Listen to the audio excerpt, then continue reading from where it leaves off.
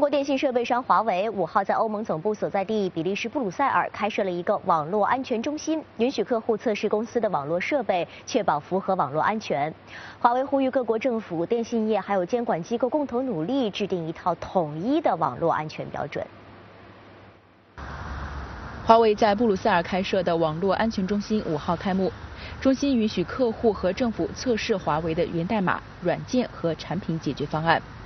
华为轮值董事长胡厚昆在开幕仪式上致辞时表示，无论是公共还是私营机构，目前都缺乏基本共识，因此不同的利益相关方有不同的期望，却没有一致的责任。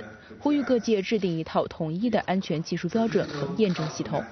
华为，we have the principle called ABC principle for security. It's very simple. A assume nothing. B, believe nobody. C, check everything. ABC principle.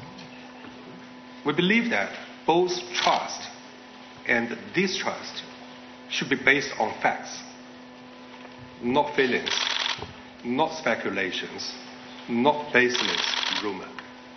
And we believe that fact must be verifiable and verification must be based on standards.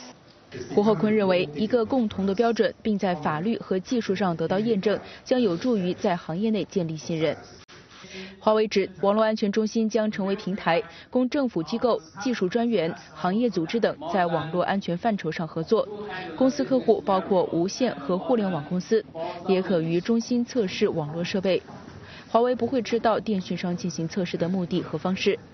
华为在德国波恩、英国迪拜、加拿大多伦多和深圳也设有类似的安全中心。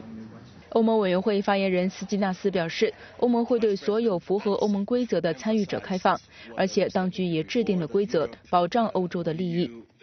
斯基纳斯又指，欧盟委员会副主席、数码市场主管安西普日前会见了胡厚坤，讨论欧盟的忧虑以及制定网络安全标准的可能。